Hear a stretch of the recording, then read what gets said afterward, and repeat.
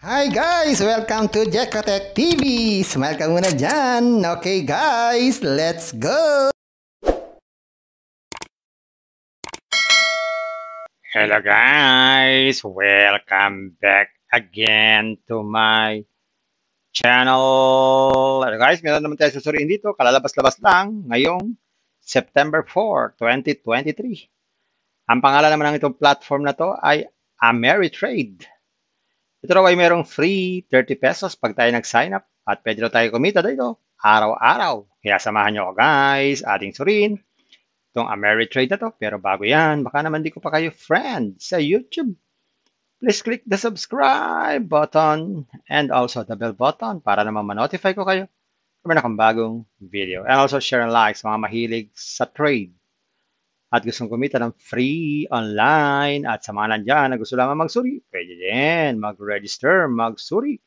Ano nga yan, marami susulit sa sari-saring application na lumalabas sa ating internet world. And again, nandito commercial o promotion o advertisement para sa Ameritrade. Sadya lamang sinusuri natin ang sari-saring application na lumalabas minu-minuto sa ating internet world. Kaya, let's go na! So yan guys, magsasign up tayo para masilip natin itong Ameritrade. Click natin itong register account yan, maglalagay lang tayo dito ng ating cellphone number. Kahit wala na zero, tapos password, tapos password, tapos yung ating email address. Gawin na natin. Yan, pag kanyang kompleto na, click lang natin itong register. So maglagay tayo dito ng first name at saka yung ating last name. Yan, click natin itong go to account. So yan guys, automatic, nagkaroon tayo ng 30 pesos. Pero yung 30 pesos na yan ay hindi pwedeng withdrawin. So para tayo kumita dito, kailangan natin mag-invest. So, click natin itong product. So, ayan. So, meron silang tawag dito na common at saka coming soon. So, dito muna tayo sa common. So, pag tayo nag-invest ng 300 pesos, magkakaroon daw tayo ng 18 pesos sa loob ng 30 days every day. Next naman dito ay 1,000 na. So, ganun din, 30 days din. Meron naman 60 pesos na income.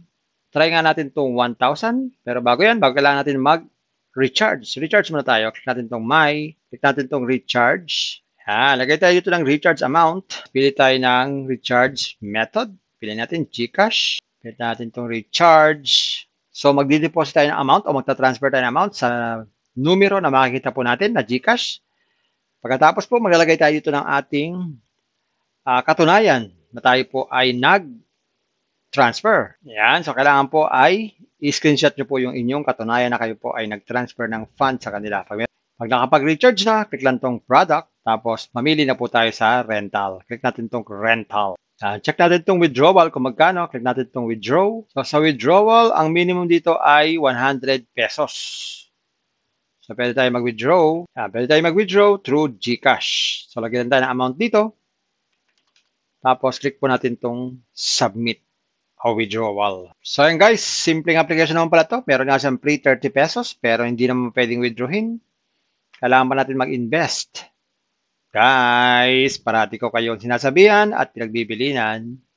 Before you invest, think twice, mag-search, magtanong-tanong bago mag-invest. And invest at your own risk. Invest what you can afford. Tulos yun lang kung sobrang pera ang ating invest.